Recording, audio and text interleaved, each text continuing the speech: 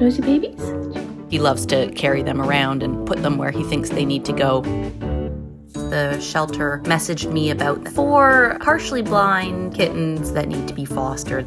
What's in there? It cat? They were really not nervous at all. Are you having fun? Do You like your cats? He keeps them clean just like a mother cat would.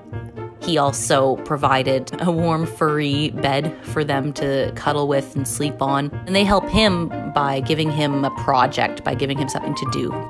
And I think that really helped them develop and, you know, get out of their shells as they grew up and then prepared them to be really well socialized, confident cats. When they leave, Raylan will start to act mopey. You want to do something fun? Maybe go to the park? Do you want to go to bed? Do you want to play with a cat? Yeah, you want a cat? We get him more kittens and he's back to being his happy, excited self and we do it all over again.